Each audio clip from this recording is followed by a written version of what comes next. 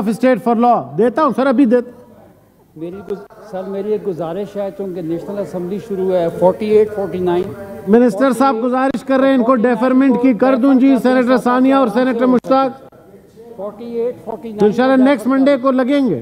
ठीक है 48 49 को सर अगर इजाज़त दें तो अगर आप कहते हैं नेक्स्ट मंडे को लगा देता हूँ। थैंक यू जी नेक्स्ट मंडे को। Point of public importance honourable senator Manzoor Kakar साहब पार्लिमानी leader Balochistan Awami party thank you लंबी नहीं है जी thank you thank you mister बाकी साथी भी हैं। Thank you mister chairman mister chairman public importance के हवाले से आपका शुक्रिया। जैसे कि हालिया फिर मानसून की बारिशें स्टार्ट हुई है और पहले भी बलूचिस्तान पूरे मुल्क में सिंध, पंजाब के पी के ये तमाम सैलाब के खैबर पख्तूनख्वा, ये तमाम सैलाब के जर्द में थे जो नुकसान हुए, जानी, माली और फसलात के हवाले से। मिस्टर चेयरमैन, अभी फिर कल परसों बलूचिस्तान में फिर बहुत बड़ा सैलाब आया। और उसने और तबाहियाँ की है और उसमें तकरीबन छः के करीब लोग शहीद भी उसमें हुए मिस्टर चेयरमैन। मिनिस्टर साहब नेशनल असम्बली शुरू वापस आ रहे हैं। मिनिस्टर साहब को बुला लेना आगे आगे अजी आवान साहब आगे जी आगे आगे जी। उसमें तशरीफ़ रखें जी। तशरीफ़ रखें। जी जी। मिस्टर मिस्टर चेयरमैन तो उसमें छः लोग से ज़्यादा शहीद भी हुए हैं। और ख़ासकर जितने कुछ बंदात बनाए थे, जो पुल बनाए थे, वो दोबारा सब के सब बह गए हैं। और ख़ासकर जो एक बोलान पे पंजरा पुल है, मिस्टर चेयरमैन एन पता नहीं कर क्या रही है। एन किस लिए बनी है? एन का काम क्या है? लोगों को अजाब देना, लोगों को परेशानियाँ देना। अब दो दिन से लोग वहाँ पे फंसे हुए हैं, मिस्टर चेयरमैन। न पीछे जा सकते हैं, ना आगे जा सकते हैं।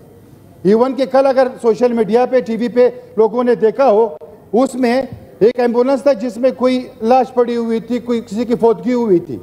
तो लोगों ने उसको कंधे पे उठा के गाड़ों के ज़रिए जहाँ पहुंचाना था, उन्होंने पहुँचाया। तो क्या फिर जो टूल प्लाजे हैं, उस पर कहते हैं कि आप टैक्स दे दो। तो टैक्स फिर गवर्नमेंट क्यों ले रही है? इन अवाम से, जिसके लिए हम कुछ भी नहीं कर रहे हैं, मिस्टर चेयरमैन। अब दोबारा तकरीबन 10-15 दिन तक यही मानसून चलता रहेगा। क्या एनएचए इतने बेलगाम घोड़ा बन चुका है कि किसी की सुनता भी नहीं है? सिर्फ़ इस हद तक एनएचए बनी हुई है, मिस्टर चेयरमैन, कि जहाँ पे उनको ज़्यादा फ़ायदा होगा तो वहाँ पे वो ज़्यादा इंटरेस्ट अपनी शो करवाएँगे, मिस्टर चेयरमैन। खुदारा खुदारा, इस आवाम पे रहम किया जाए, मिस्टर चेयरमैन। लोगों पे रहम किया जाए, मिस्टर चेयरमैन। लोग कहाँ जाए? लोग किसके पास जाएँ? एनएचए आज तक जहाँ पे भी, जितने भी हमने इश्यूज़ उठाए हुए हैं एनएचए उसी टाइम घंटे, दो घंटे के लिए एक्टिव हो जाती है, फिर उसके बाद दोबारा एनएचए का नामो निशान नहीं एनएचए कहीं नज़र भी नहीं आती है। चाहे वो खैबर पख्तूनख्वा में हो, चाहे वो सिंध में हो, चाहे वो पंजाब में हो, चाहे वो बलोचिस्तान में हो, मिस्टर चेयरमैन आए मिलके हम इस एनएचए के खिलाफ कोई बात तो करें। इसके खिलाफ कोई ऐसा अमल बनाए कि वो हमारे जितनी जितनी परेशानियों में मुल्क को डाला हुआ है, इस एनएचए ने डाला हुआ है, मिस्टर चेयरमैन, ये बड़ा आती बन चुका है, सफ़ेद आती बन चुका है, मिस्टर चेयरमैन। मिस्टर चेयरमैन, इसके साथ एक बात रखूँगा वर्ड में जिस वक्त ये हालात चल रहे हैं, हमारे दोनों फैमिलियाँ जो है ना, बड़ी मोजिज फैमिलियाँ हैं, सरदार अख्तर मेंगल बहुत बड़ा एक दर्जा रखता है, बहुत बड़ा एक मकाम रखता है, उसके साथ मीर शफीक रहमान जो है, वो भी एक बहुत बड़ी फैमिली से ताल्लुक रखता है, मिस्टर चेयरमैन। यहाँ पे कुछ ऐसे सोशल मीडिया पे लोग भी बोले हैं कि जिनको किसी चीज़ का पता ही नहीं है। अब अगर मैं खैबर पख्तूनख्वा के बारे में बात करूँ कि फलाना बंदा ऐसा है, फलाना फैमिली ऐसी है तो मेरे ख्याल से ये मुनासिब बात नहीं होगी। जो फैमिली है, वो है। अख्तर जान की फैमिली एक बहुत बड़ा मकाम रखती है, मिस्टर चेयरमैन। सरदार अतौला मेंगल मरहूम एक बहुत बड़ा नाम था, एक बहुत बड़ा उसने बलूचिस्तान के लिए, इस मुल्क के लिए बहुत से खिदमत किए सियासी हवाले से। इसी तरह सरदार अख्तर मेंगल। लेकिन मीर शफीक रहमान एक बड़ी फैमिली है, मिस्टर चेयरमैन।